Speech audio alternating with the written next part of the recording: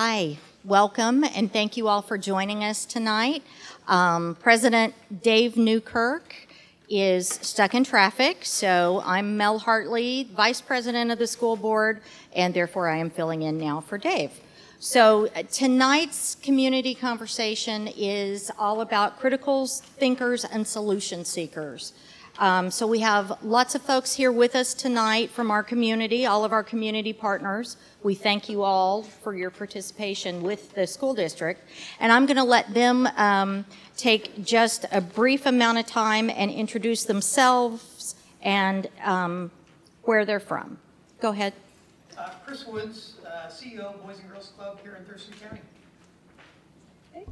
Good evening. I'm Jen Burbidge, Parks and Recreation Director for the City of Lacey.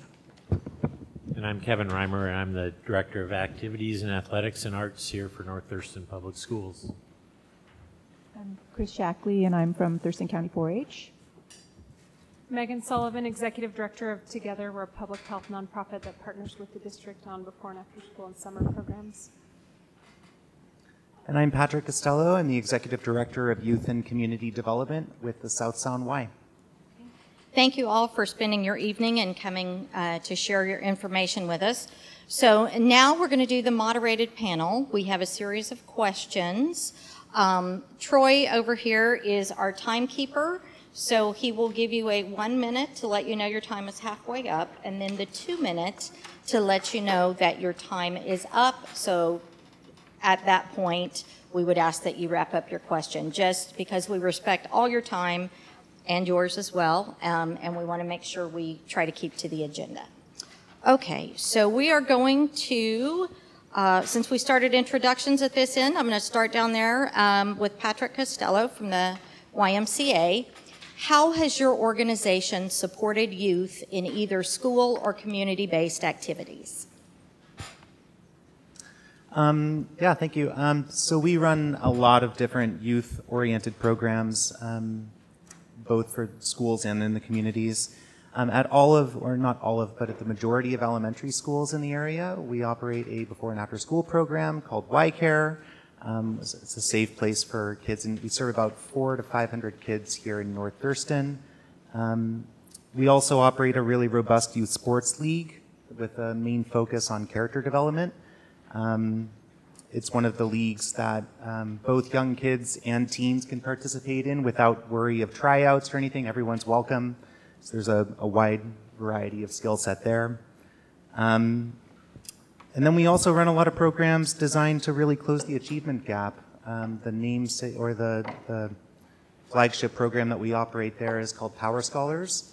Um, we operated here and in Olympia. We've operated in Tumwater as well. And uh, that's a free to families program, um, really designed for kids that are both uh, behind grade level and um, are, are, low income. Um, so really targeting those families in terms of helping close their close that achievement gap. Um, we operate some other smaller kind of um, niche programs as well, um, like youth in government is one that's really popular at the statewide level. our delegation here is smaller than we think it could be, and uh, we're continuing to imagine new programs, but really all of them are designed around healthy living, social responsibility, and youth development. Okay, thank you. I know many of the board members were able to go um, observe the Power Scholars program this summer, and the energy and the positivity were really very cool. Um, Megan Sullivan from Together, please uh, again describe how you support youth in either school or community based activities. Together's 30 years old, and for all of our 30 years, we've partnered with North Thurston Public Schools, so we have a long history of partnership. Over the last six years, we've partnered on Clubhouse before and after school programs and also summer programs. For the first five years, that was a partnership in three elementary schools that were um, higher need in terms of both academics and um, free and reduced lunch, so lower income um, schools. And then in the last year, we added uh, two middle schools to that. And this year we're in four schools because of some changes to the main funding, which is state funding. But that before and after school and summer program um, work is really project-based learning. So it's an opportunity for kids to try their hand at things like robotics or um, partner, we partner with um, organizations that are like engineering firms that will come in and um, have their young professionals um, roll up their sleeves and build bridges out of popsicle sticks and um, do some applied learning. There's a large emphasis on student choice and student voice, so centering um, young people in making decisions about what they want to learn about and how they want to learn. And something that we're really proud of and excited about is over the last two years, we've built a dual language, two-way um, bilingual program in Spanish and English, starting at Lydia Hawk Elementary and also extending to our Chinook Middle School program. So that's something that we're really excited about. One thing that's been great about the way that we do business is um, robust partnerships are part of how we do that. So we've had lots of conversations with partners at this table, like the Y and Boys and Girls Club, and many, many others, um, to make sure that more kids are served um, through the variety of programs that they offer and we offer. Thank you, and congratulations on the big new grant. I know Together is doing wonderful things. Thank you. Okay. Chris Shackley from Thurston County 4-H. Again, the same question, how your organization supports youth in either school or community-based activities. Well, just in the general community, we have many, many clubs, um, many projects, not just livestock and animals, but STEM, arts and crafts, baking, um, that are available to every child, no matter, you know, what their demographics or where they live or, you know, if money, if, if you can't afford to join 4-H, we make sure that they have the money, you know, that we give them the money so that they can join 4-H. Um, so we have that. Um, we've worked with the community, we, we worked with the Y and together in some of the after-school programs that they have. We've done healthy living uh, programs with both of them. Um, we are currently doing a robotics after-school club at a private school.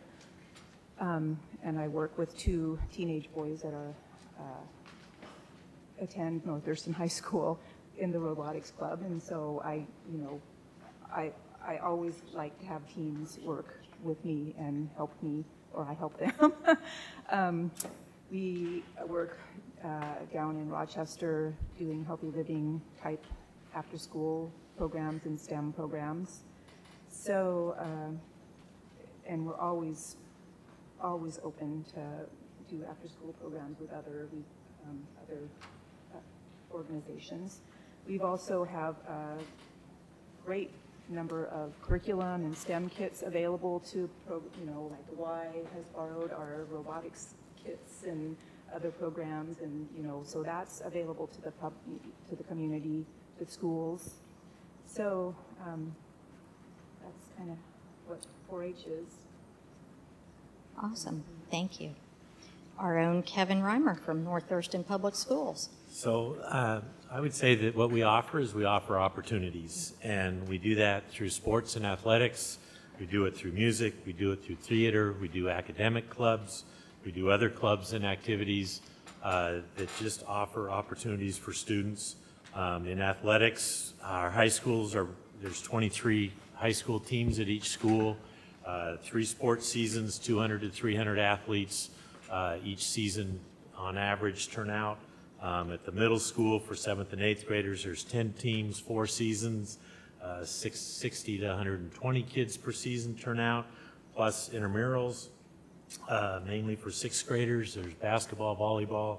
Uh, at the elementary, we do track as well as far as athletics go. In the music realm of things, in elementary, there's choirs uh, that are after school and before school. Uh, middle school, the same with orchestras, jazz bands, percussion bands, um, pep bands at the high school, jazz bands, marching bands, uh, theater with uh, uh, different, each high school has three performances per year. Uh, Middle schools vary a little bit on that.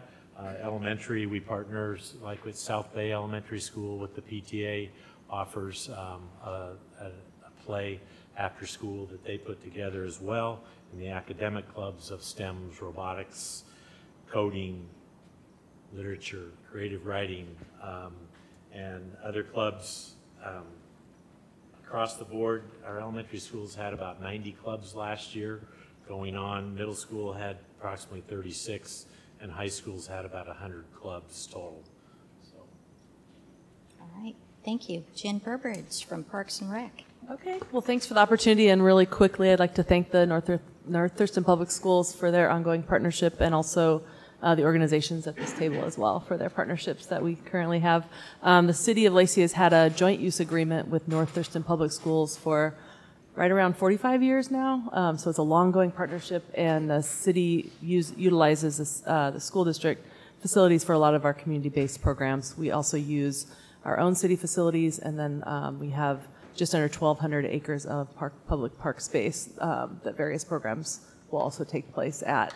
Um, but as far as to answer the question, how we support youth and um, youth and teens, uh, we're primarily well in the schools for the programs, but we're very much community based. Um, in a nutshell, we have programs, events, job experience, and volunteer experience to offer youth and teens. Um, regarding so in the program area, sports, aquatics, fitness, music, dance, day camps, teen camps, trips and tours, and we have a museum, which we're beefing up our educational opportunities there. Um, events such as activity nights at the middle schools, we have a polar plunge, cultural celebration, Lacey Spring Fun Fair, STEM Fair, uh, 3rd of July fireworks spectacular, uh, Lacey in Tune concert series, dances, movie nights, Arbor Day, Earth Day, National Trails Day, Children's Day, etc. Um, there's a few more.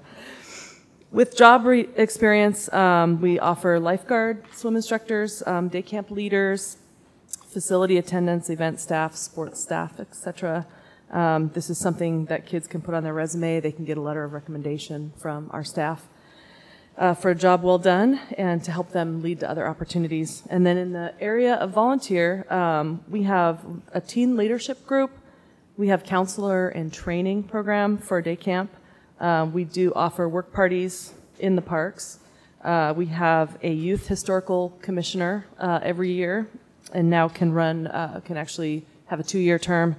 A youth park board commissioner, and then the newest thing is the city of Lacey is having a youth youth council um, here shortly to mirror and be mentored by our city council members. Okay, excellent, thank you. Chris Woods from Boys and Girls Club, same question. Thanks, Mel. Uh, Boys and Girls Club is uh, fairly new. Uh, when you look at all the services that we have available to us in Thurston County, we've been here since 2001, currently serving over 3,000 students in six school districts in the county. Uh, that includes North Thurston, Olympia, Rochester, Tenino, Tumwater, and we just started in Yelm. Uh, we're currently uh, operating seven clubs in those six districts. We have about 60 staff and about 100 volunteers in all of our clubs. And our goal is pretty simple. It's really to provide safe and productive before and after school opportunities for uh, children from kindergarten all the way through 12th grade. And we do this by focusing on really three essential areas academic success being the first, and our educational programs support members' success in school and prepare them for graduation and beyond. And uh, really, our goal there is to be an extension of the school, an extension of the district, so that if a school and a district had more time with students, what would they like to do? And, and we like to consider ourselves an extension of that process and help them to get across the stage. Second area is good character and citizenship. Uh, club members learn by example and experience to become thoughtful, kind, and responsible youth through a variety of programs. And then healthy lifestyles would be our third goal, and that's to support members' lifelong health uh, through offering nutritious snacks and meals and hands-on gardening and cooking classes and games and so on. And uh, we're looking to uh, continue to, to grow in the community and be able to provide more opportunities for more youth um, in the districts that we serve. Wonderful, thank you. So, um, two things. One, our board members are elected officials, um, but it's a non-paid position, so we're often running up and down I-5 to get here after work. So with that, our president, Dave Newkirk, has arrived, um, and I also see the mayor of Lacey in the back there. Andy, thank you for being with us today, Andy Ryder. So, Mr. Newkirk, would you like to come up and start him off on question number two? Sure. Jumping where I'm supposed to be. Thank you. Mel. so, question number two is What are some of the challenges or opportunities for promoting youth and teen participation? So, why don't we start back here with um, Chris as well? Sure. I think you're probably going to hear some common themes as we go down the road here, but um, for us, uh, resources um, is one of the biggest uh, challenges, and I'll, I'll stick to challenges first. Um, it, it, we are entirely dependent upon fundraising, individual donors, corporate donors, and um, we're only limited by the space we have to use to serve our youth and the amount of money we have uh, to hire staff and to offer scholarships to our youth. Uh, I think we can be more efficient in collaboration and planning our services, and this is a fantastic start. And I think this is uh, something that we should be doing in, in all of our school districts. Um, we're limited by space as it relates to transportation. You know, our school districts are great partners in transporting kids, but when you have a full bus, it's hard to bring more kids than, than you're allowed to carry. And then teen retention is a big one. Teen retention in our clubs, and we know that's the most at risk group right now. And so we got to find ways to uh, retain uh, our teens and provide uh, positive places for them. As far as opportunities, uh, continue to have opportunities to partner with North Thurston Public Schools to serve uh, many of our homeless students and families and uh, creating dedicated space at our Lacey Club to serve kindergartners.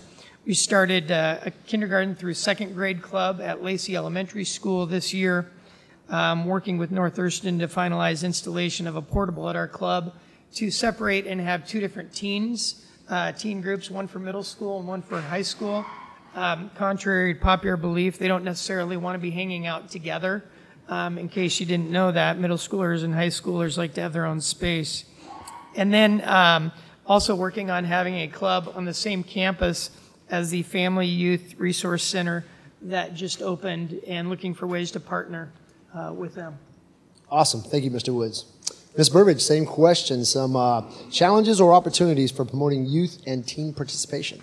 Okay, um, challenges and opportunities uh, from our standpoint, and I think Chris is right. There's going to be some uh, repetitive information here from the panel, um, but really finding out what youth and teens want to participate in. Um, another one is getting the word out uh, properly. So we have a lot of opportunities, but sometimes not a great response on some items versus another, and we just need to figure out, you know, how to how to really um, get that communication and marketing out. And then providing accessible opportunities is a challenge for us. Um, as a lot of you know that have kids in sports and other programs, you're often having to drive across town in a lot of traffic. And so um, we want to be mindful of, you know, having accessible opportunities for people that are close to home. Um, and then providing affordable opportunities. So resources is another challenge, definitely. And then also uh, securing enough uh, facility space to offer the programs that we want to offer for the demand that we have. Thank you very much. Mr. Reimer? I think I'll start with some extra opportunities um, versus getting to the challenges that might be a repeat.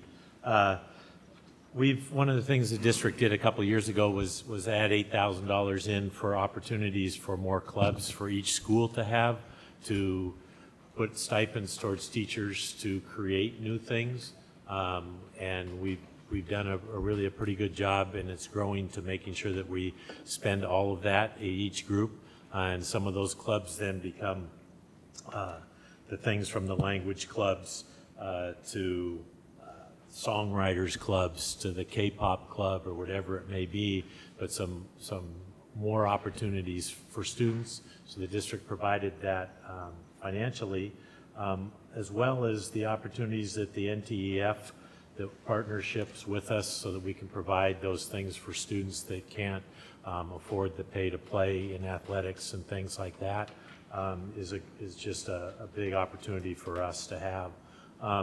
As far as the challenges, transportation uh, is probably our biggest challenge to, to offer things, and not only um, even in our world of athletics right now, transportation um, is difficult just to have enough buses to and bus drivers to to get us to games, let alone then those roadblocks that might stop some people from being able to stay after school because they don't have transportation to get home, um, as well as field use and um, just the overuse uh, that we have, that we have to take time to shut some fields down, and that impacts the city um, as well as some of our teams and stuff like that.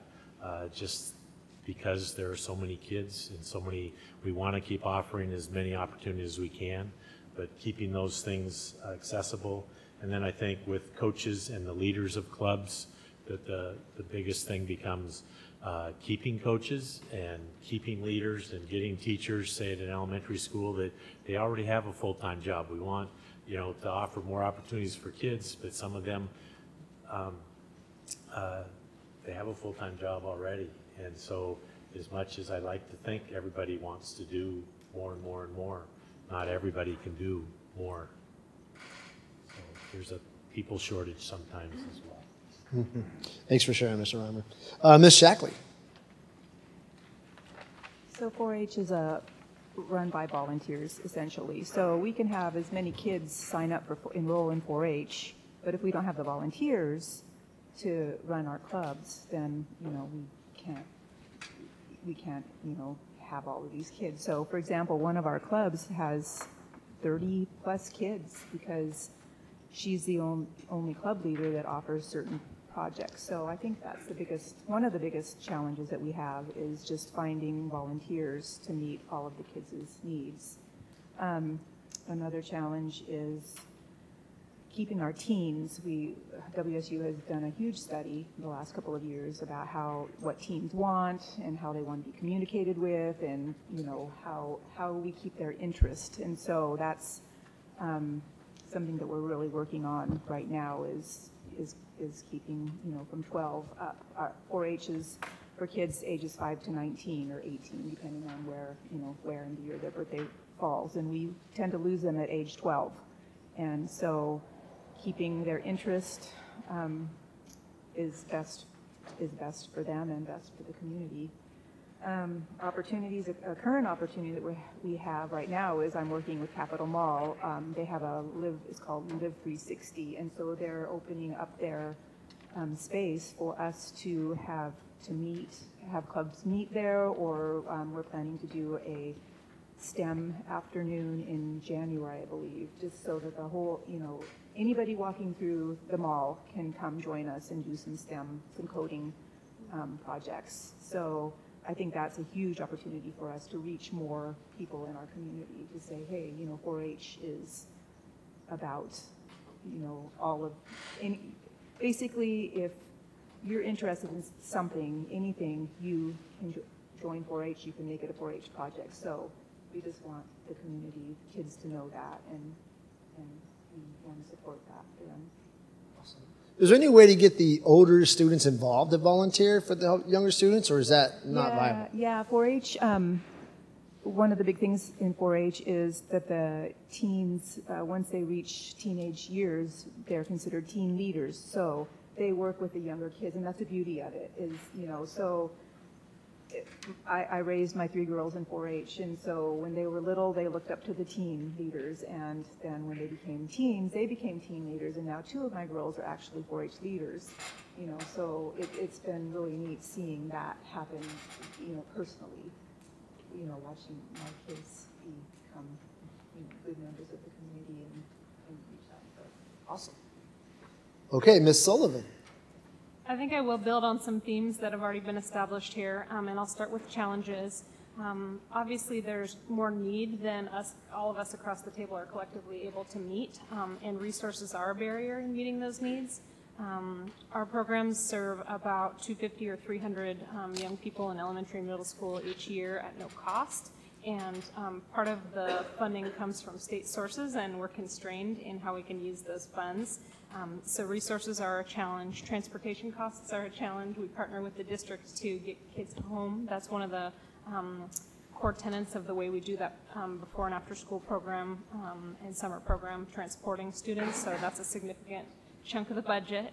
Um, one thing that's interesting is that our programs, while they are based at schools, are serving a higher proportion of special populations and does vary by school, but some schools, it's a higher proportion of students who are um, utilizing special education services. Some schools, it's um, lots more folks that are free and reduced lunch, which is a measure of low income status.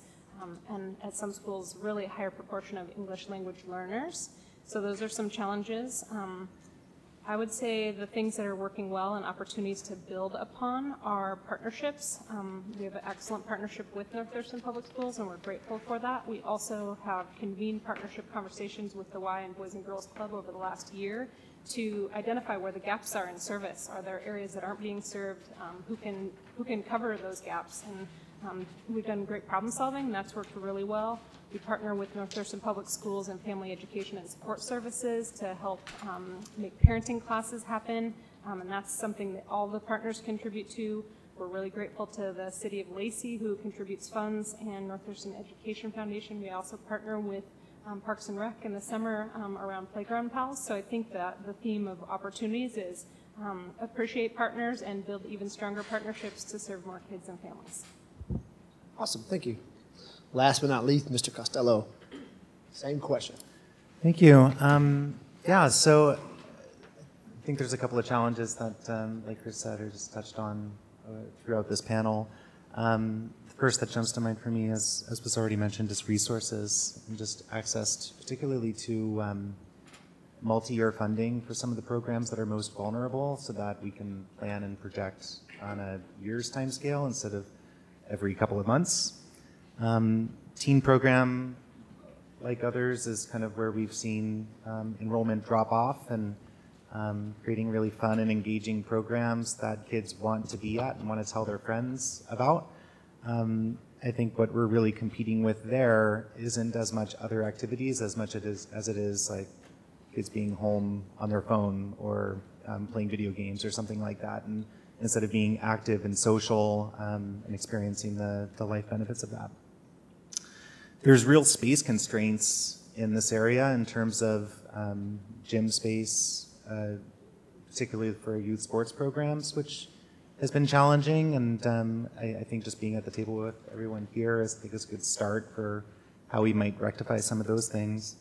Um, and then one thing that um, that at least we have struggled with, particularly with our school-age childcare program, is the perception of cost and just a lack of awareness of all of the um, different financial assistance options that um, are available either through state subsidy or directly through the Y. And um, that's a little complicated because some of it is just um, teaching someone how to kind of maneuver through the, the bureaucracy and, and uh, get the funding that they need to get their kid in a program that can help them work and be a contributing member in, in the community.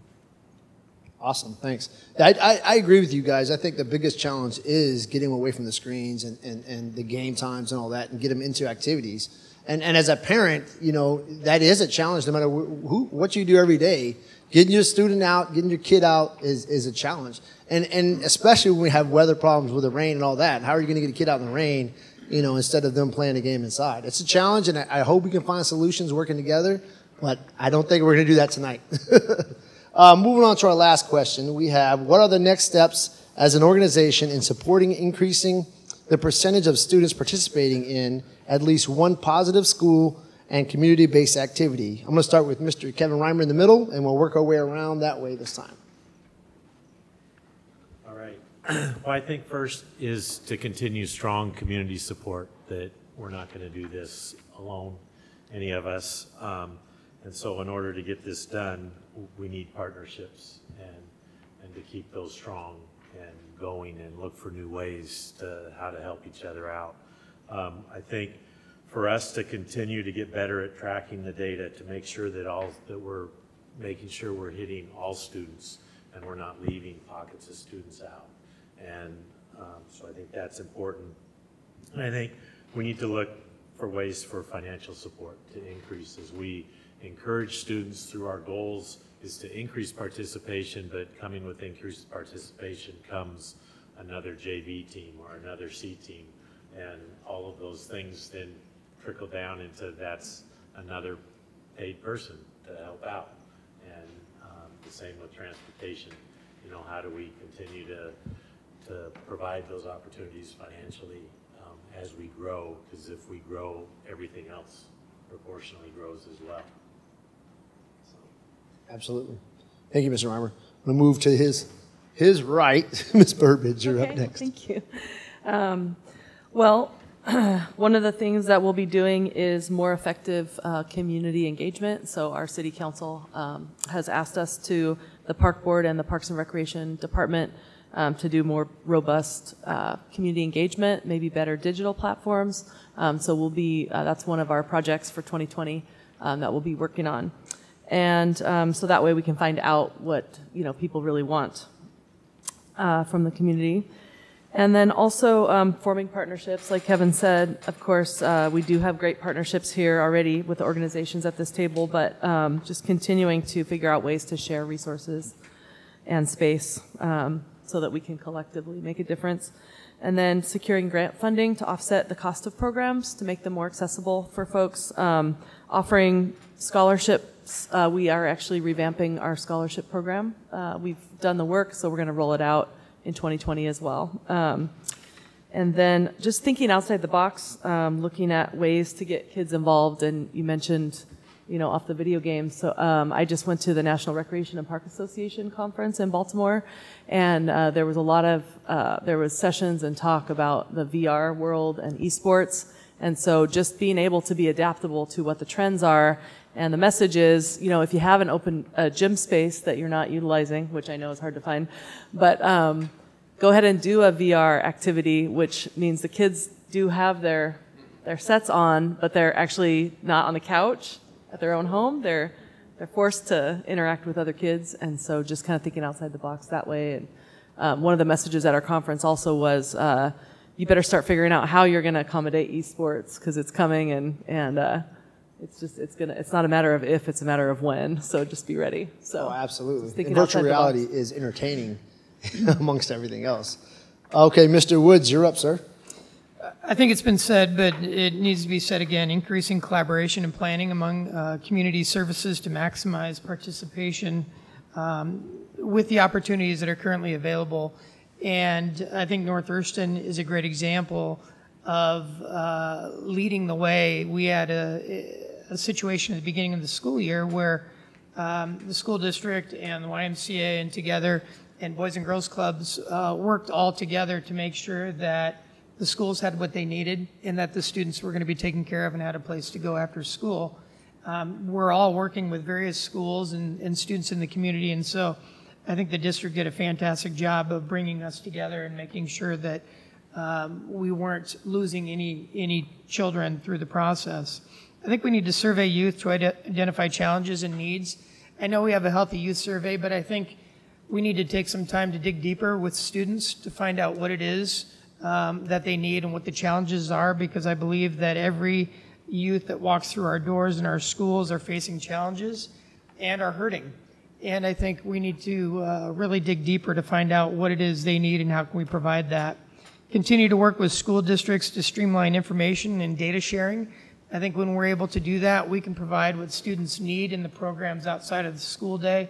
And again, going back to that idea of being an extension of the school day, if we had more time with our students, what would we want to do? Uh, continue to work with individual and corporate donors, grant funders, and other community partners, uh, really to generate resources long term and not just uh, temporary, uh, so we can serve youth and commit to programs long term. And then the last thing is uh, I think we really need to find opportunities for evening and uh, nights, particularly for our teens, um, safe places for them to go and have opportunities um, that are good choices. Great points, great points. Getting a survey done from the students is probably the best thing ever because you're getting, them, you're getting it straight from the source, right? Uh, but we need some kind of incentive for them to fill out the surveys. So that might be something we need to think of as a group as well. Um, next, we're going to go back to the end. Mr. Costello, same question. I'm going to read it real quick. What are the next steps as an organization in supporting increasing the percentage of students participating in at least one positive school or community-based activity? Thank you. Um, I mean, just echo everything that everyone has said so far in terms of the collaboration and partnerships. Um, I guess to provide a little bit more color in the, the ways that I've seen some of that um, happen over the last couple of months.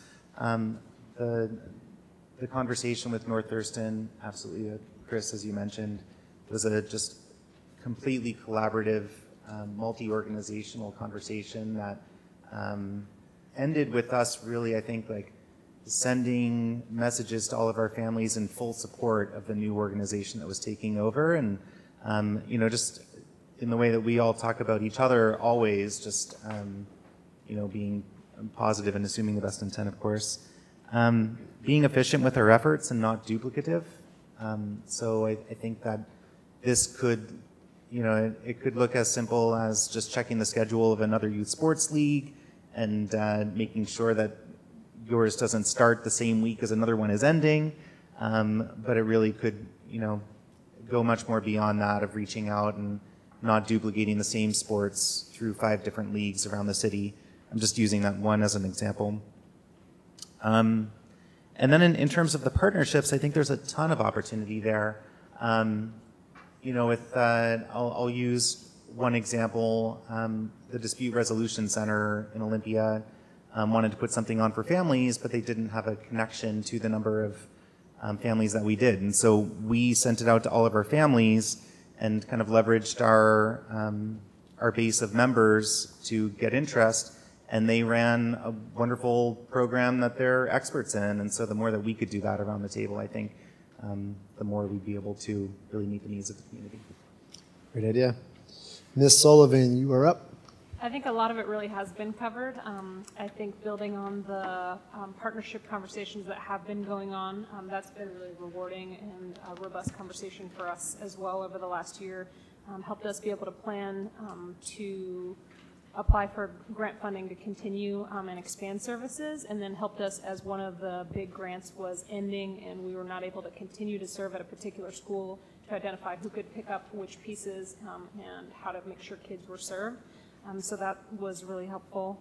I think um, expanded collaboration to make sure that we can get families to exactly the service that um, best meets their needs would be something that would be really neat to um, see moving forward.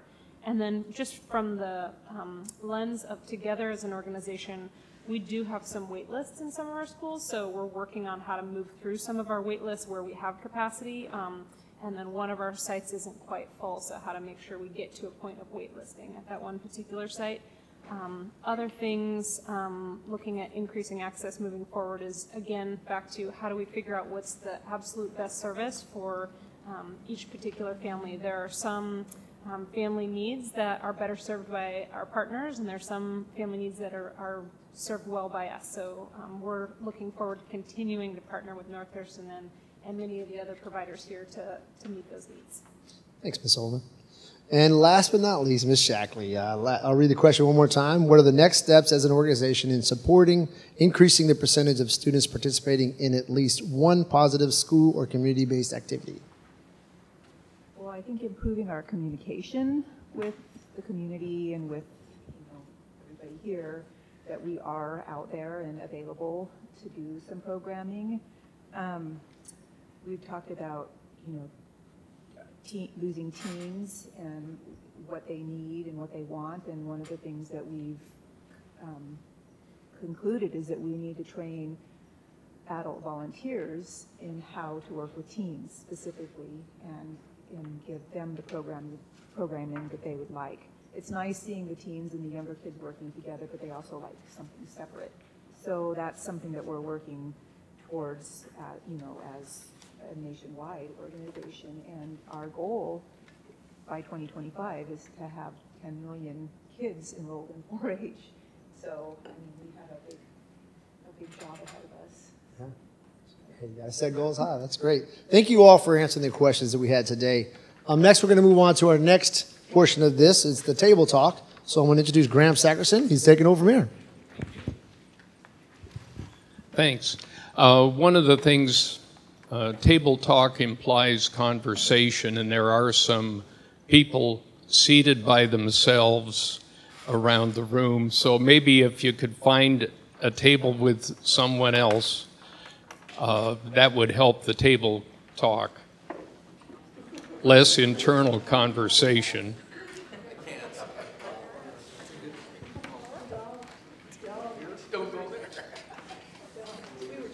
And we have Many of you have three cards with three questions. Come on, it can't be that tough.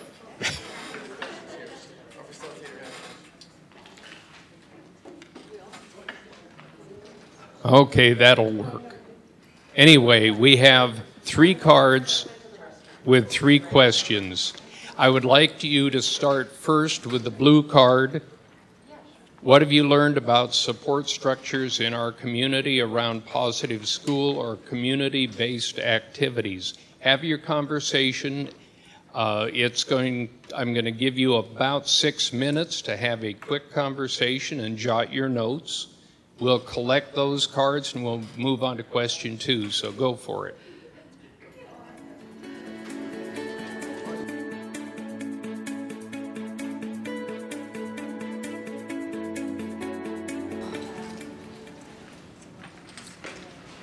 First question is, how do we get more kids involved in advisory positions and in, um, in additional activities who are not following a traditional path on um, four-year high school to college?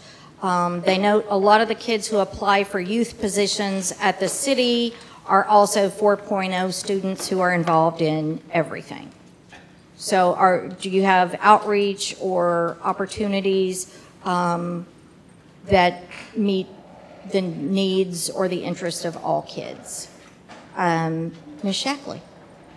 Well, we have a program called Yay 4-H, it's Youth Advocates for Health, and we have a program called Yay 4-H. It's Youth Advocates for Health, and it's specifically for teens. And teen, um, we teach teens to be teachers. Um, they so they help us or volunteers teach the curriculum or whatever we're teaching. For example, my two teens that are helping me with the robotics club at a private school. Currently, uh, we pay them a stipend for a certain amount of time that they help us, so that's an opportunity. They don't have to be, they, they can be homeschooled, they can be, you know, out of school. So we do most of this stuff after school or on the weekends. So that's what we have available. Okay, great, thank you. Anybody else? Mr. Woods? Currently, we have uh, about 25% of our staff are former club kids. And uh, so a lot of our kids will go from being a club kid to being a junior staff member in the summertime where we have programming all day long, uh, Monday through Friday. And then from there, if being a junior staff member is successful for them and for us, oftentimes those uh, youth uh, work themselves right into positions, whether it's part-time or full-time. Uh, and we found that's the best way for us to um, reach underserved youth uh, because those are the youth that we're serving in our clubs every day. And they seem to be um, a very good fit for uh, moving into uh, positions within the organization. And many have worked on onto full-time positions and even administrative positions within the organization. Okay, great. Anybody else? Yes, ma'am. Megan? One thing that's worked well for us is to work to recruit and retain staff that are representative of our community and those we serve, um, so that the young people see folks that look like them or experience some of the same life circumstances as them, so that they really feel at home and welcomed in our um, spaces. Okay, that's great. So individuals specifically with similar um, experiences who those children can identify with. Okay, great. Anybody else? Um, uh, just echo the Y has tons of volunteer opportunities. Um, I think there's a lot of opportunity in the summer, especially to expand our um, volunteer options for teens. Um, to come and just have a, a, a, mentorship experience at one of our camps, even. Um, you know, many hands make light work. Sure. That'd be really fast. Our youth and teen programming staff stay in touch with school counselors and try to connect there for opportunities. Um, but I will say that we want to do more and better outreach, and so we're open for suggestions if there's ideas out there. Thank you. Okay, thank you. And you. I have an addition, I just meant staff and volunteers, I wasn't clear, but staff and volunteers that um, are representative of our, of our community. Okay. Um, we have a series of questions, some specific, some not. Um, one, for the 4-H program, do you have to have an animal to participate? And if so, are there grants or other financial assistance for low-income families? No, you don't have to have an animal to participate. We do everything from pigs to sewing and baking. So you just, um, if kids can't afford to join 4-H, we do have scholarships available.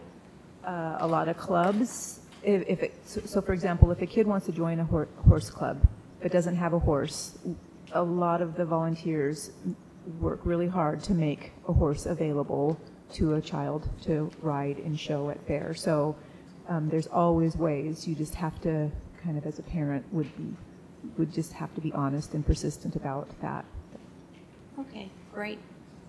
Um, So now this is a more general question, um, open to everyone. How has poverty limited participation for both kids and parents? Um, And how could or would more volunteers help um, with resource avoidance? Chris? I think for us, um, we serve a, a lot of uh, families that would qualify for free or reduced lunch, McKinney-Vento program. Um, that's most of, of the youth that we serve, but uh, one way that's unique that we're able to serve them is a partnership with North Thurston School District. In the past, uh, many of our homeless students would get on a bus after school and they would stay on that bus until the bus driver finished their regular route. And then after that, those students would be driven home. In many cases, home was temporarily outside of the city. Might have been Shelton, might have been Tacoma. So in a partnership with the school district, uh, we came up with the idea of how about if the kids are dropped off at the club right after school, they go finish their routes and then they come back around 4:15, 4:30 and take those kids directly home. Um, that's something that's been very unique to the North Thurston School District to be able to serve those uh, those children at no cost. They come, they get to be a normal kid, they get to have, uh, get help with their homework, they get a snack, they get to play games, they get to have fun. And all the kids at the club know is they know some kids are picked up by cars, some kids go home by the bus, and that's all they know. Uh, but that unique partnership has allowed us to uh, eliminate that barrier and serve uh, more more youth than we would normally. Okay. And transportation challenges um, were a theme in several questions. So if anybody has ideas or answers to transportation challenges, think about that one for a minute. Megan, did you have a response as well?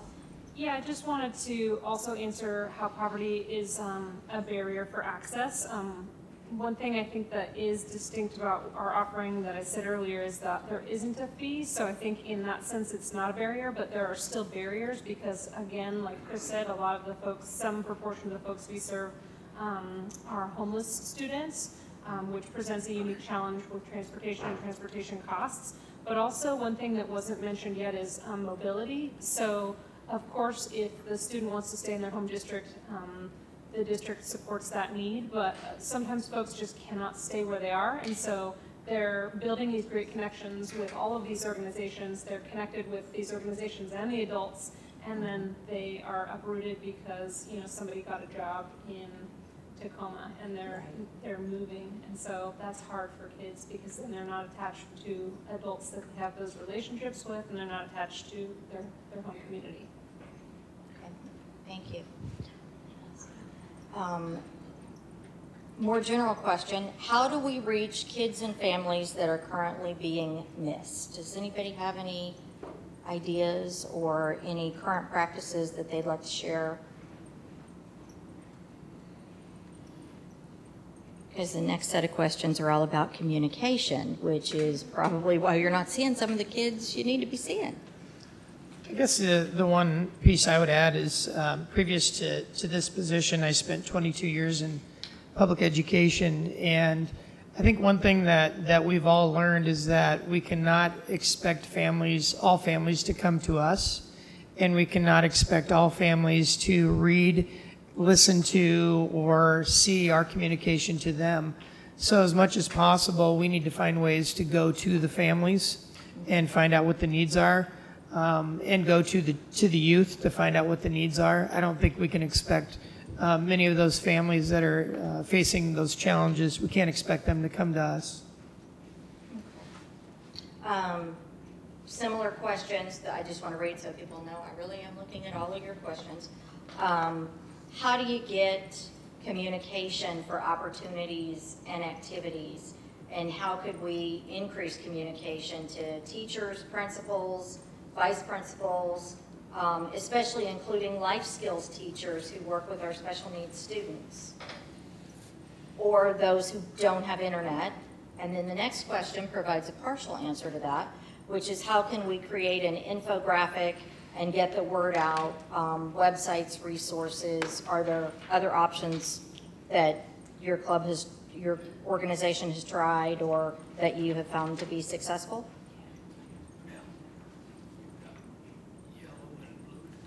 Oh, I have to get through, yellow and blue aren't questions though. Okay. Go ahead and answer that one, then apparently I'm being told I have to move to yellow and blue. Well, I think for, for, for 4-H, cost is a big thing, and trying to reach school districts is very difficult for us because we have to pay to advertise our programs. So if we could somehow get away from that and, you know, have a direct contact with somebody within the district or, you know, something where we wouldn't have to pay for Peachjar or however that works, that, that, you know, for us, that's a huge thing. to have. So. Now we are moving on to the yellow and the blue cards. So for the yellow cards, these were, what suggestions do you have to strengthen support for positive school or community-based activities? And the question says, have these organizations considered developing a shared community calendar? Which I think partners on coordinating calendars where your camps don't overlap and that sort of thing. Has there been any um, thought of a shared community calendar? There is now, right? Everybody's shaking their head yes. Okay.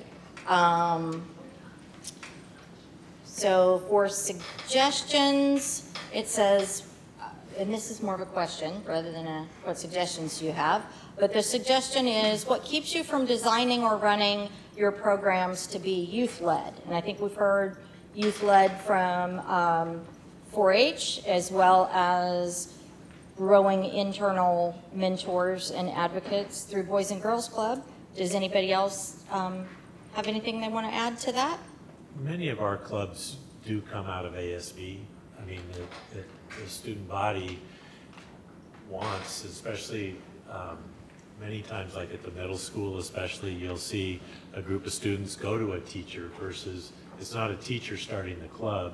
It's a group of students that want a club, and so they go find the teacher that they connect with to get them to start the club or be the supervisor for the club. And so a lot of things happen that way in the schools that it's not always adult down most of the time, especially in clubs. It's student student interest first, then the club becomes reality.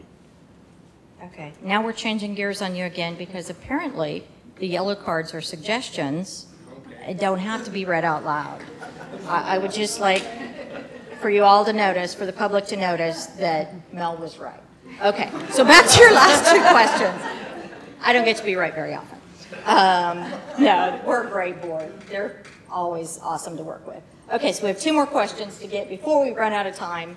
Um, how can the, din- the district's new mentorship program collaborate with this work? We have a new mentorship program where um, kind of like the military liaison, only this liaison will be with businesses to try and get more career-connected learning, um, which also goes with the question, how do you keep those over 12 involved in a club or activity?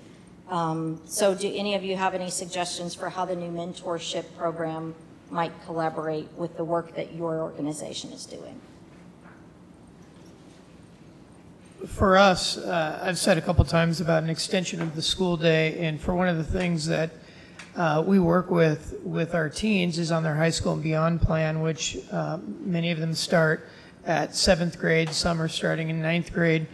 However, uh, we see it as our responsibility to help these students get plugged into the community, whether it's an internship, volunteer opportunities.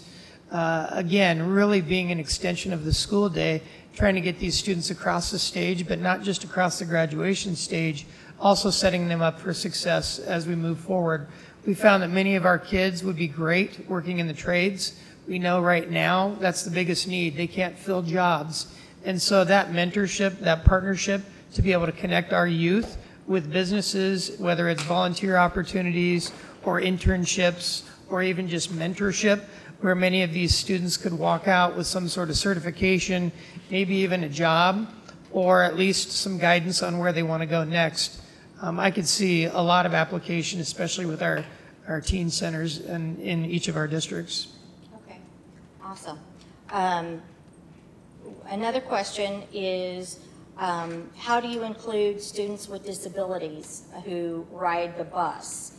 Um, Do we have a plan, or or do you have anything in place to help those students access the activities that you've talked about tonight?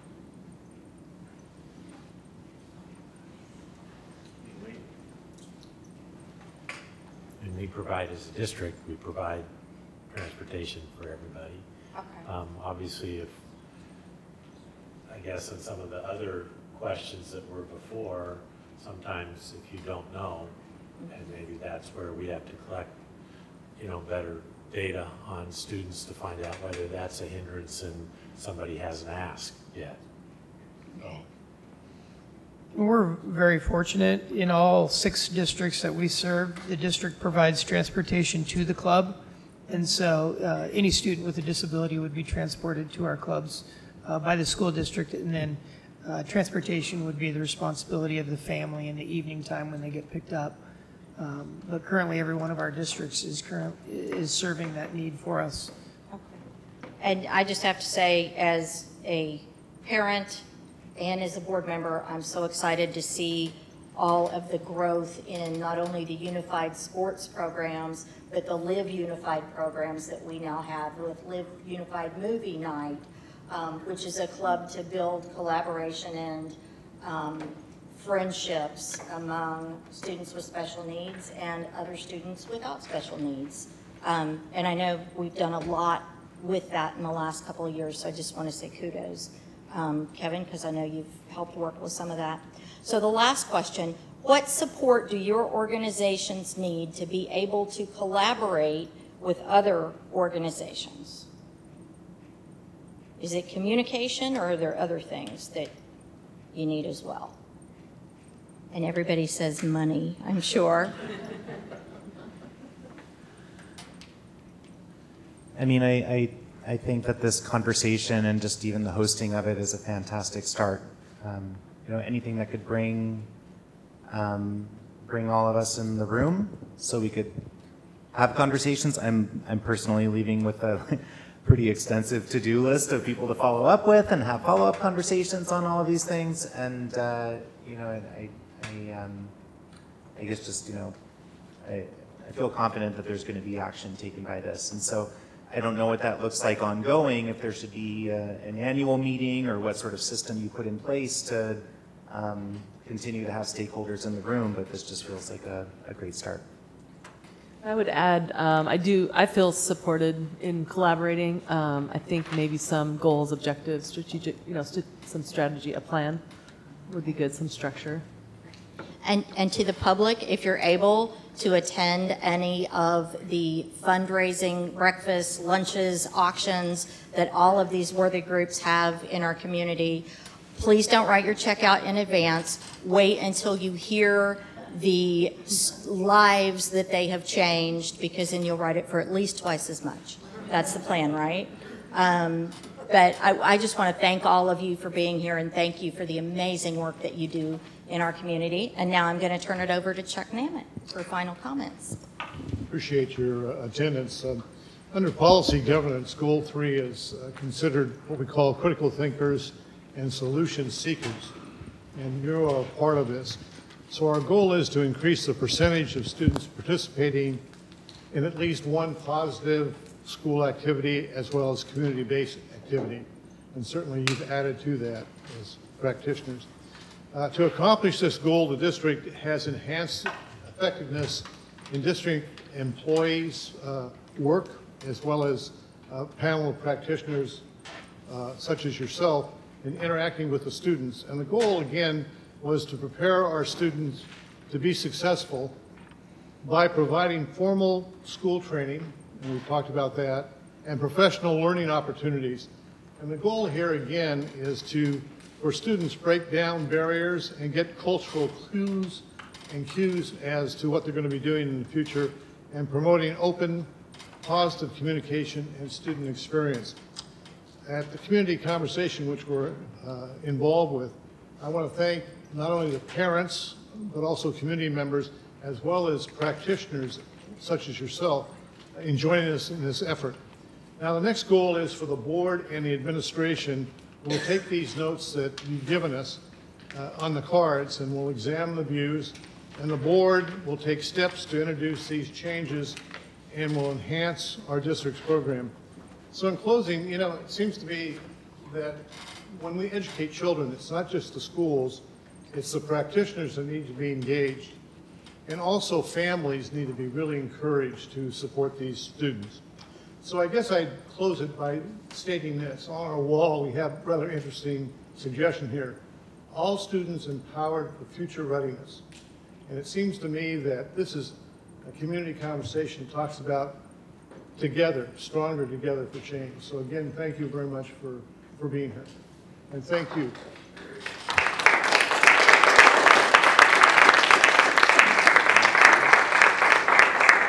The adage is to start on time and end early, which we are.